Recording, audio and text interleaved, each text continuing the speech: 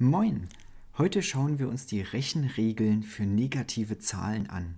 Das heißt plus, minus, mal und geteilt, gar nicht so dramatisch. Vor allem, das Ganze beginnt mit einer guten Nachricht. Es gibt ab jetzt nämlich nicht mehr vier Rechenoperationen, sondern nur noch zwei. Ist das toll? Ich denke schon. Also, schauen wir uns mal die erste Regel an. Und die besagt, die Addition, Addition ist Plusrechnen, ist gleich die Subtraktion. Subtraktion ist Minusrechnen. Aufpassen, dass man es nicht wie Pippi Langstrumpf Substraktion spricht. Da ist also mittendrin kein S, sondern wirklich nur Subtraktion.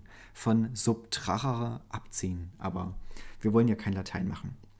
So, das Ganze fängt also schon mal seltsam an, gebe ich zu. Plusrechnen soll gleich Minusrechnen sein. Sehen wir uns das doch mal an. Zum Beispiel hätte ich als Aufgabe 2 minus 3. Wenn wir wieder an die Zahlen gerade denken oder zum Beispiel an ein Thermometer, dann ist das gar nicht schwer. Es sind 2 Grad, es wird 3 Grad kälter, dann haben wir danach minus 1 Grad. Okay, so weit, so gut. Aber warum soll das das gleiche sein wie eine Plusaufgabe? Nun, wir könnten es so interpretieren, dass das Minus zur 3 gehört. Es ist also die Zahl minus 3. Und dann steht da gar nicht 2 minus 3, sondern da steht noch ein unsichtbares Plus. Da steht 2 plus und dann kommt erst die minus 3. Das darf man einfach so machen. Ja, jede Minusaufgabe ist ab jetzt auch eine Plusaufgabe und das Nette ist, so dürften wir die beiden vertauschen. Ja? Summand plus Summand wird Summe genannt und tauscht man die Summanden aus, die Summe macht sich gar nichts draus. Summand plus Summand. Vielleicht kennt ihr das Lied aus der Grundschule. Ich kenne leider nur die erste Strophe, aber die reicht uns hier ja schon. Gut, also wir dürften hier auch schreiben, wenn man das gerne möchte.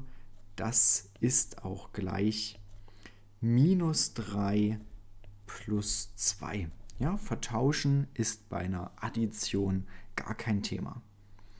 Ja, und das bedeutet, wir müssen uns um Addition und Subtraktion keine Sondergedanken machen, sondern wir können beides zusammen beantworten.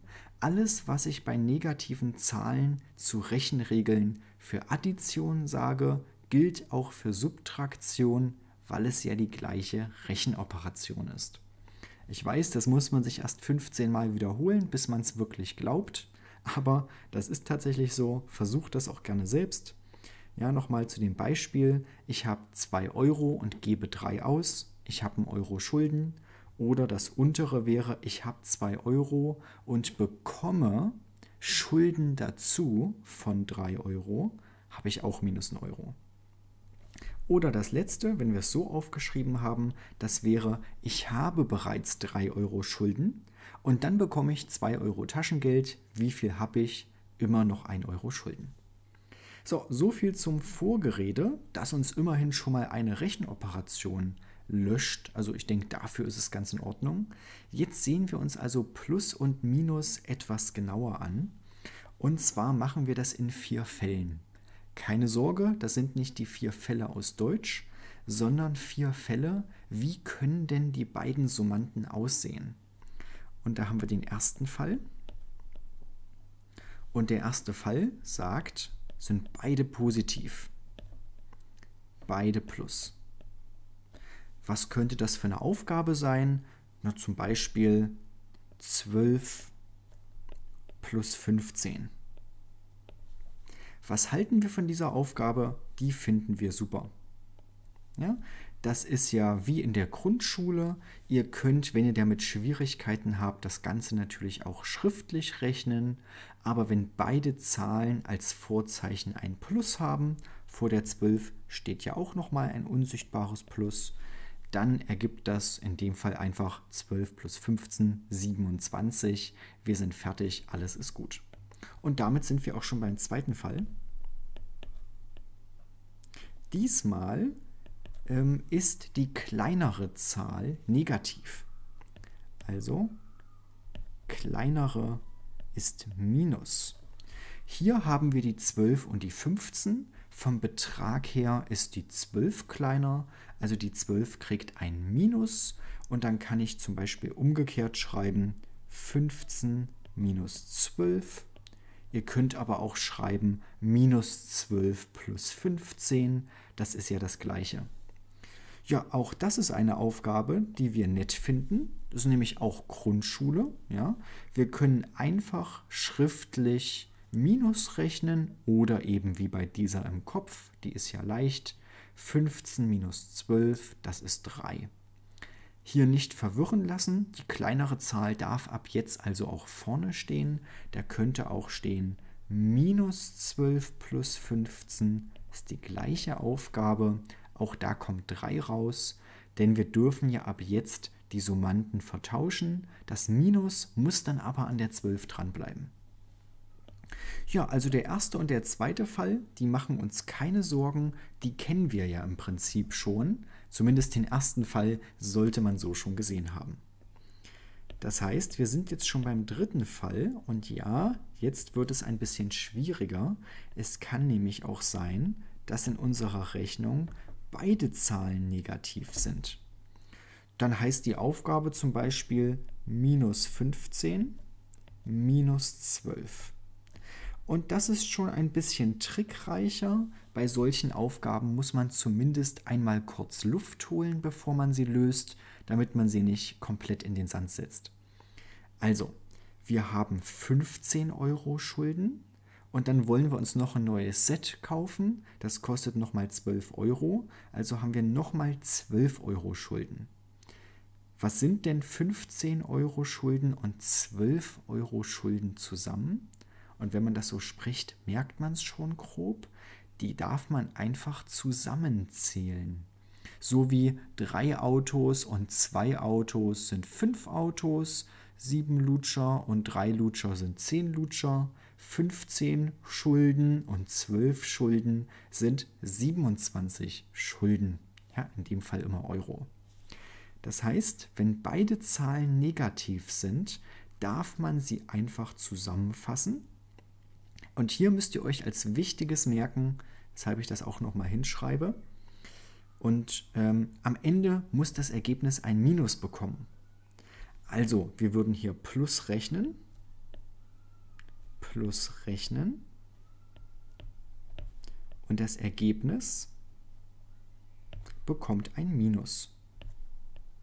Schreibt euch das lieber in euren eigenen Worten auf, dann ist das verständlicher als die ganzen Kurzschreibweisen hier. Also nochmal langsam. Beide Zahlen sind negativ. Ich nehme mal zwei andere, zum Beispiel minus 3, minus 1. Beide Zahlen sind negativ. Ich darf sie einfach, als wären es Pluszahlen, zusammenrechnen vom Betrag. Aber das Ergebnis muss ein Minus haben. Also ich habe 3 Euro Schulden und 1 Euro Schulden. Das sind zusammen 4 Euro Schulden. Minus 3 und minus 1. Ich rechne 3 plus 1 das sind 4. Und dann das Ergebnis bekommt ein Minus, also minus 4. Ja, ist schon ein bisschen schwieriger, denke ich. Da muss man zumindest mal drüber nachdenken. Der vierte Fall, der hat es jetzt natürlich noch mal so ein bisschen in sich. Und zwar ist diesmal die größere Zahl eine negative Zahl. Also wir haben die Aufgabe 12 minus 15. Und ja, die ist durchaus schwierig. In der Grundschule hätte man jetzt hingeschrieben, nicht lösbar. Ich kann ja nicht mehr abziehen, als ich habe. Aber aus dem echten Leben wissen wir, das geht schon. Also wenn wir 12 Grad Celsius haben, morgen kommt ein Wintersturm aus Russland, es wird 15 Grad kälter, oder ihr habt 12 Euro und wollt 15 ausgeben, dann macht ihr Schulden. Natürlich geht das, ja, also das können wir uns schon vorstellen. Wie rechnet man das? Ja, und da gibt es einen kleinen Trick. Natürlich gibt es wie immer einen Trick. Wir denken uns mal das Minus anders. Für was steht denn das Minus? Also klar, das steht für Abziehen, aber Minus steht auch für die Differenz. Differenz heißt der Abstand von zwei Zahlen. Bei 12 minus 15 fragen wir uns also, wie weit sind die 12 und die 15 voneinander entfernt. Und für diese Entfernung ist es egal, ob wir 12 minus 15 oder 15 minus 12 rechnen. Und ihr merkt ihr schon, der Abstand der beiden Zahlen, der ist natürlich 3. Da kommt 3 raus. Wichtig ist hier, es geht in der Aufgabe ja nicht unbedingt um den Abstand, sondern zum Beispiel um eine Temperatur.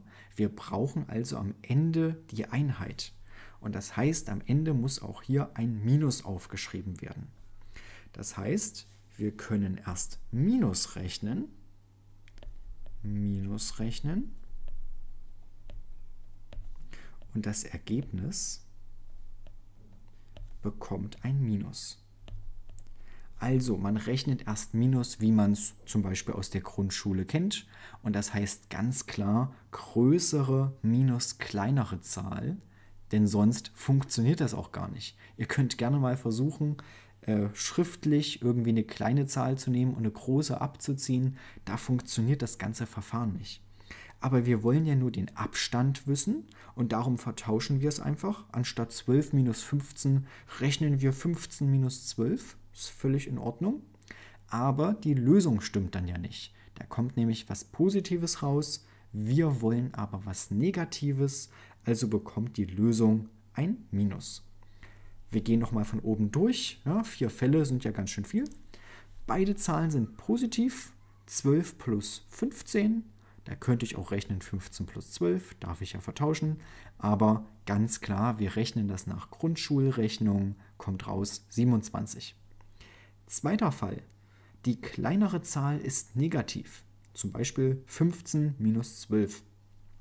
Auch das kennt man aus der Grundschule. Da ist ja die kleinere Zahl immer die negative. Also ähm, das passt. Wir können einfach ganz normal subtrahieren und dann kommt raus 3. Der dritte Fall. Beide Zahlen sind negativ. Minus 15 minus 12.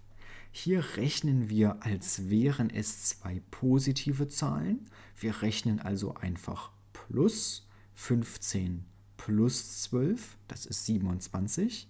Aber das Ergebnis bekommt ein Minus, denn eigentlich ist es ja eine Minusaufgabe. Da kommt also raus minus 27. Und der vierte Fall, die größere Zahl ist Minus, also vom Betrag die größere. Und ja, da haben wir zum Beispiel 12 minus 15. Hier rechnen wir erstmal Minus wie aus der Grundschule, also umgekehrt 15 minus 12 kommt raus 3 und dann bekommt das Ergebnis ein Minus. Bei 12 minus 15 kommt also raus minus 3.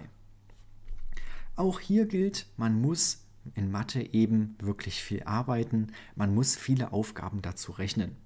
Ihr sollt ja nicht immer auf ein Extrablatt schauen, oh, eine Aufgabe, wo ist größer und was minus, wen muss ich wie rumdrehen. Nee, ihr rechnet 500 Aufgaben davon und dann hat man es einfach im Kopf, alles ist gut und dann kann man das ganz entspannt äh, auswendig. Ja? Also die Rechenregeln, die lernt man bis zum Umfallen und dann kann man die wenn man sie aber versteht, und das ist ja die Idee dieses Videos, wenn ihr versteht, warum man das so rechnet, dann habt ihr es natürlich nochmal schneller und falls ihr im Notfall was, was äh, vergesst, kommt man auch wieder drauf. Aber hier gilt eben wirklich üben, üben, üben. Denn jetzt haben wir zwar die Hälfte geschafft, aber es kommen ja noch zwei Rechenoperationen und zwar Multiplikation und Division. Ja, und habe ich da nicht vorhin was Schönes gesagt? Addition ist Subtraktion. Ja, und jetzt kommt natürlich wieder so was Schönes. Und zwar gilt jetzt noch Multiplikation. Multiplikation ist gleich Division. Ja, eigentlich geht es in dem Video um Rechenregeln und ich zerstöre einfach mal zwei Rechenoperationen. Warum nicht? Ne? Also wir haben nur zwei übrig. Die Addition Subtraktion ist eine und die Multiplikation Division ist eine. Falls euch das jetzt noch nicht sagt, vielleicht habt ihr das Thema später noch, das ist jetzt überhaupt kein Thema. Das heißt nur, alle Regeln, die ich jetzt bespreche, gelten bei einer Geteiltaufgabe genauso wie bei einer Malaufgabe. Hier auch ein Beispiel. Wir haben die Geteiltaufgabe 2 durch 7. Dann können wir auch dafür schreiben 2 mal das Reziproke. Also man teilt durch eine Zahl, indem man mit der reziproken Zahl mal rechnet. 7 ist 7 Ganze und das heißt, ich kann rechnen 2 mal ein Siebtel. Und ja, da kommt tatsächlich das gleiche raus. 2 durch 7 ist nämlich 2 Siebtel und 2 mal ein Siebtel, ich habe das Siebtel also doppelt, das sind auch 2 Siebtel. Also wir sehen schon wieder, das ist durchaus entspannt. Wir haben nur eine Rechenoperation und dieses Thema ähm, Punktrechnung mit Brüchen könnt ihr euch im entsprechenden Thema natürlich noch genauer anschauen. Was wird jetzt wahrscheinlich kommen? Naja, ihr ahnt es sicherlich schon, es kommen wieder vier Fälle, logisch, aber diesmal für diese Rechenoperation. Der erste Fall soll natürlich wieder der sein, der am einfachsten ist. Und ja, da gibt es netterweise auch was. Und der erste Fall ist natürlich, beide Zahlen sind positiv. Beide positiv. Und ich nehme jetzt als Beispiel eine Malaufgabe, aber wie erwähnt, bei einer Geteiltaufgabe wäre es genauso. Ich nehme 3 mal 4, das können wir nämlich schön rechnen. 3 mal 4 und naja, da muss ich glaube ich gar nicht dazu, äh, so viel dazu sagen. 3 mal 4 ist 12, das ist von der Schwierigkeit gar nichts. Das ist wieder eine Grundschulaufgabe. Also der erste Fall, wenn beide Zahlen positiv sind, dann könnt ihr natürlich mal und geteilt so rechnen, wie ihr es aus der Grundschule kennt. Der zweite Fall. Diesmal ist die erste Zahl posit äh, positiv oder die erste Zahl negativ, wie wir wollen. Nehmen wir die erste ist negativ. Das heißt, wir haben minus 3 mal 4. Das ist also ein ganz kleines bisschen kniffliger, ähm, aber von der Vorstellung her kommt man, glaube ich, auch gut drauf. Warum schreibe ich hier nicht die kleinere Zahl oder die größere ist negativ, so wie wir das vorhin hatten? Da haben wir doch auch gesagt, zweiter und dritter Fall oder so, ne? oder ein vierter, da geht es irgendwie um kleine und große Zahlen. Naja, das spielt bei Mal und geteilt keine Rolle.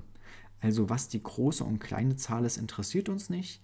Manchmal ist wichtig, welche vorne ist, aber tatsächlich werden wir merken, das ist hier gar nicht mal so schlimm.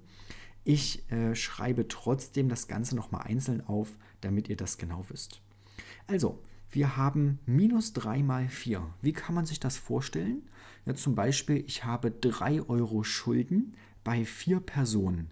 Bei Max, bei Anna, bei Tim und bei Tom. Ja, vier Personen. Bei jeder Person habe ich 3 Euro Schulden. Wie viel Schulden habe ich dann? Klare Sache. Wir rechnen einfach mal und das Ergebnis bekommt ein Minus. Da kommt raus minus 12. Und damit sind wir auch schon beim dritten Fall. Und zwar, diesmal ist natürlich die zweite Zahl die Minuszahl. Zum Beispiel 3 mal minus 4. Und hier aufpassen, falls ihr das Einführungsvideo nicht genau gesehen habt.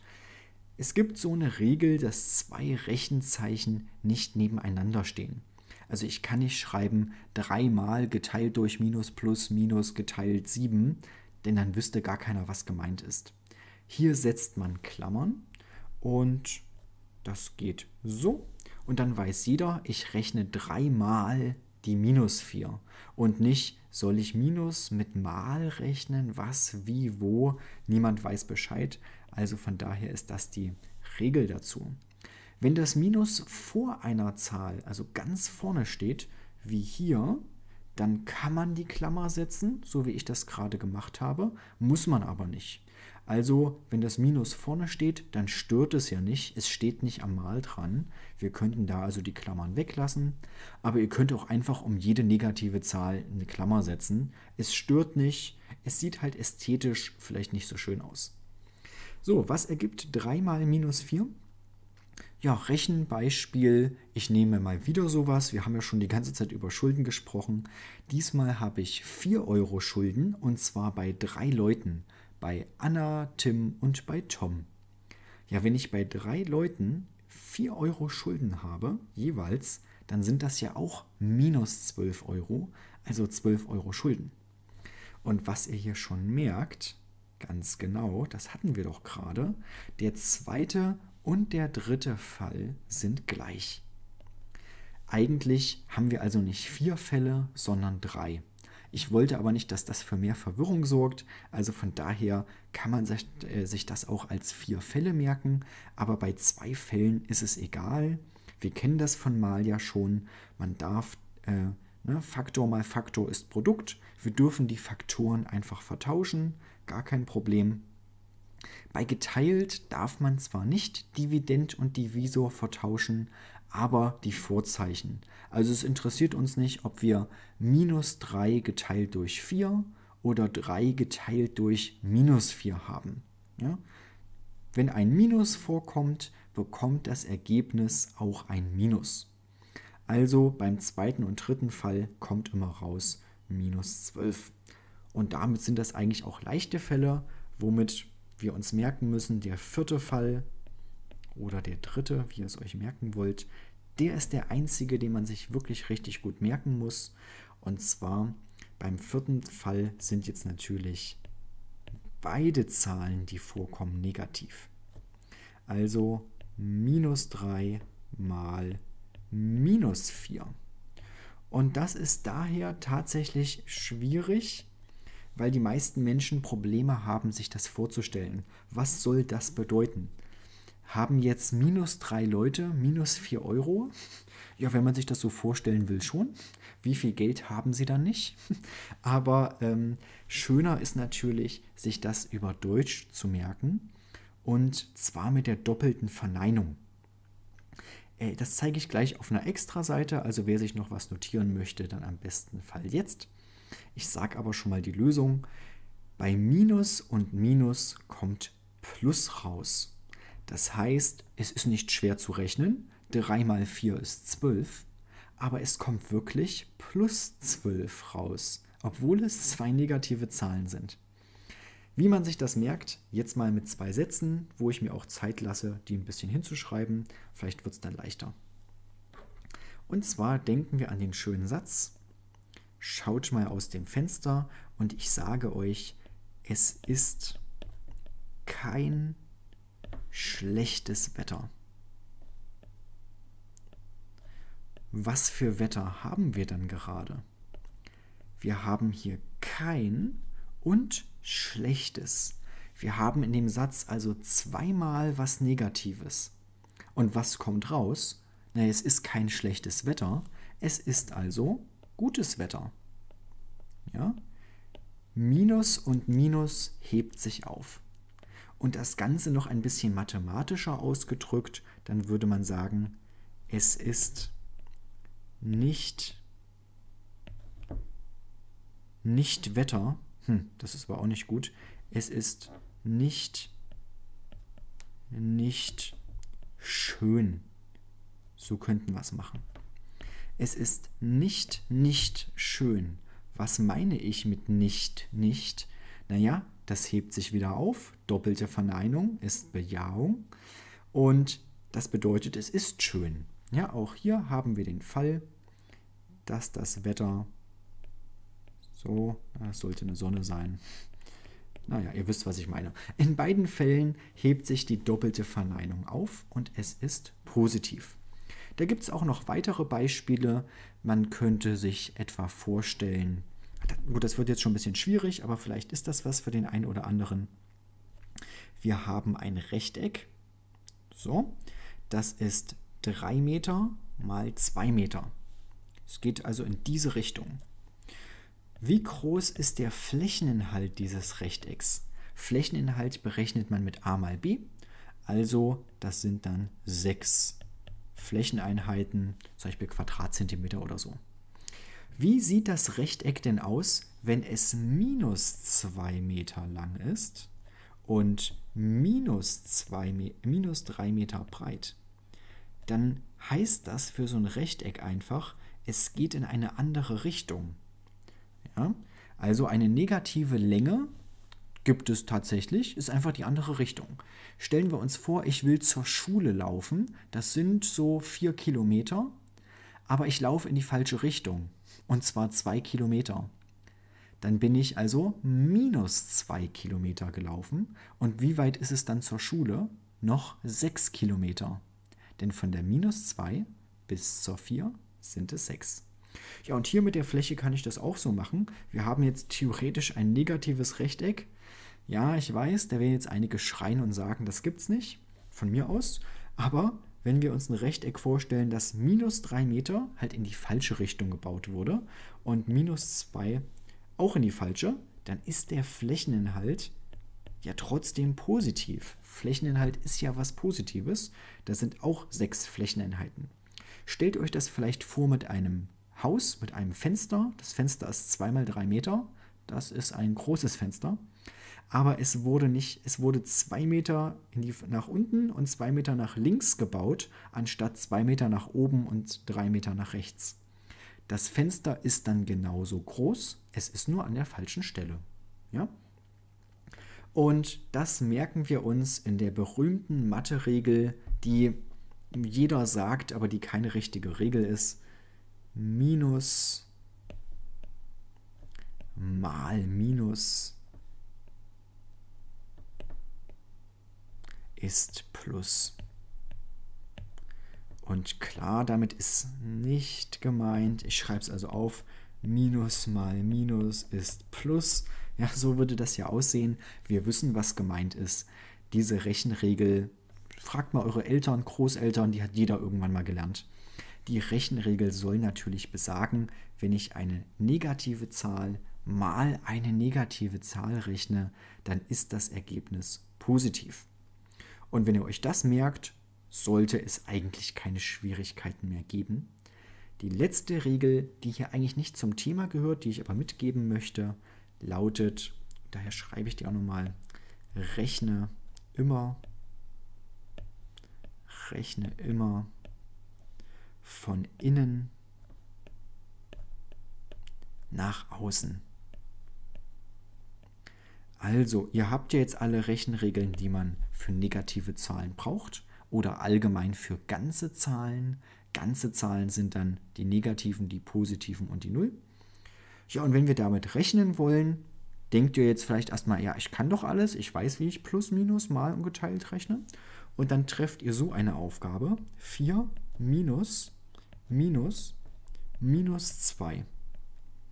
Und dann denkt man, oh Gott, ich habe keine Ahnung mehr, alles vergessen. Das ist aber auch nichts Schlimmes. Wir beginnen innen und gehen von innen nach außen. Würdet ihr auch schon in der Grundschule so machen, wenn eine lange Aufgabe kommt irgendwie, ne? Aber schauen wir uns mal an, was das jetzt hier bedeutet. Ganz innen steht eine Minus 2 und davor steht ein Minus. Also hier und hier. Und das haben wir gerade auf der letzten Seite aufgeschrieben. Minus mal Minus ist Plus.